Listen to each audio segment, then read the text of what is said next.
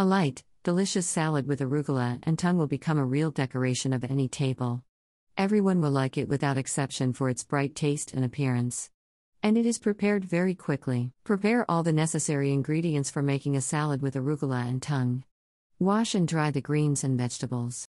Put the arugula on the bottom of the salad bowl. Cut the boiled tongue into small strips and put an even layer on the arugula. Pour the vinegar into a bowl, add honey, salt, and black pepper, mix everything until smooth. Pour the vegetable oil into a bowl with the dressing and mix until smooth. Peel the egg and divide it into six slices. Put the egg on top of the tongue and pour the dressing over everything. Cut the cherry tomatoes into slices and put them on the salad. Garnish with parsley and serve. Bon appetit!